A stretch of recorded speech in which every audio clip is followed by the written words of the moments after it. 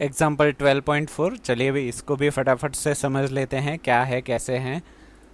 So example 12.4 says that the potential difference between the terminals of an electric heater एक electrical heater use कर रहे हैं, जो 60 volt volt potential difference के ऊपर चल रहा है।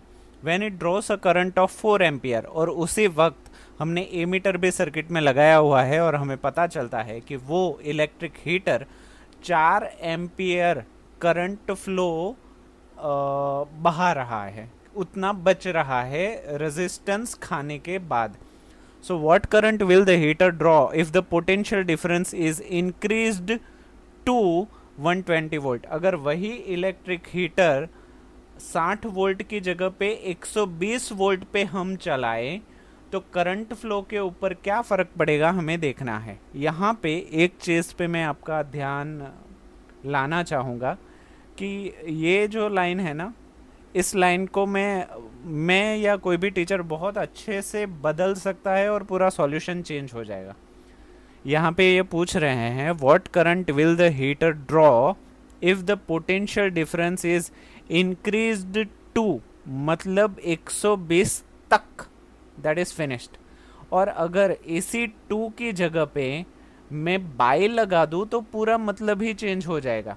यहाँ पे ये लाइन जो फ़िलहाल इन्होंने यूज़ की हुई है, उसका मतलब है 60 वोल्ट है 60 वोल्ट इज़ देर और हम 120 वोल्ट पे चेक कर रहे हैं। अगर यहाँ पे टू की जगह पे मैं बाई यूज़ कर दूँ तो 60 plus 120 total one eighty volt हो जाएगा। बाई ये मैथमेटिक्स में आपने एथ स्टैंडर्ड नाइन्थ स्टैंडर्ड में यूज़ किया होगा कि बाई यूज़ किया तो एडिशन हो जाता है, जबकि टू एंड टर्मिनल दिखाता है कि इतना ही बढ़ रहा है। तो ये चीज़ मैं चाहता हूँ कि आप ध्यान दें। तो फिर से हम सर्किट बना लेते हैं। पहली कंडीशन है 60 वोल्ट बैटरी लगाई हुई है। यहाँ पे दो सेल यूज़ ना करें, एक ही सेल यूज़ करें that is more than enough क्योंकि प्लग की ऑन कंडीशन में है तो करंट फ्लो हम दिखा रहे हैं प्लस से माइनस से लेके। यहाँ पे लोड है इलेक्ट्रिक हीटर यहाँ पे आप लिख सकते हो इलेक्ट्रिक हीटर हो गया। करंट है चार एम्पियर बह रहा है, और यहाँ पे ए मीटर है। ए मीटर में भी रीडिंग चार एम्पियर ही दिखाएगी। तो अभी same formula V is equal to I R हम यूज़ करेंगे पहली कंडीशन में। V हमारे पास है 60 वोल्ट जबकि I हमारे पास है 4 एम्पियर तो रेजिस्टेंस कितना होगा, हम देख लेते हैं। तो पोटेंशियल डिफरेंस दिया है 60 वोल्ट करंट दिया है 4 एम्पियर ओम्स लॉ के according V is equal to I R है, R को हमें फॉर्मूला मेकर बनाना है। सो V अपॉन I हो गया, V is equal to 60 volt we are writing it down I is equal to 4 ampere so four fifteen ज़ा sixty so resistance यहाँ पे जो है, वो 15 ओमेगा होगा 15 ओम होगा। तो यहाँ पे पहली कंडीशन जब हम 60 वोल्ट यूज़ कर रहे हैं, तब रेजिस्टेंस 15 ओम है। अभी हम यहाँ पे वोल्टेज बढ़ाने जा रहे हैं तो कंडीशन अलग से हो जाती है। अभी इस कंडीशन में 60 वोल्ट थे, अभी हम उसको एग्जैक्टली डबल कर रहे हैं। तो यहाँ पे 120 वोल्ट हो गया।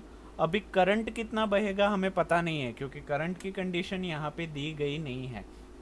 पूछ रहे हैं what current will heater draw अभी करंट कितना बहेगा वो हमें देखना है। तो वोल्टेज दे दिया गया है रेजिस्टेंस दे दिया गया है हमें। एम्पियर मतलब कि करंट निकालना है सेम फॉर्मूला लगेगा, V is equal to I R I को फॉर्मूला मेकर बनाएँगे तो बन जाएगा V अपॉन आर वोल्टेज यहाँ पे हम बढ़ा रहे हैं 120 वोल्ट जबकि रेजिस्टेंस हमारा 15 ओम है। रेजिस्टेंस कभी चेंज नहीं हो सकता, एक कंडीशन में एक ही रहेगा। तो यहाँ पे अभी 8 एम्पियर करंट बचेगा। उसका मतलब ये है कि इसमें चार एम्पियर बह रहा था। अभी वो डबल हो जा रहा है, आठ एम्पियर। तो आप इसमें से भी निष्कर्ष निकाल सकते हो कि वोल्टेज अगर डबल कर दिया तो करंट भी डबल हो रहा है।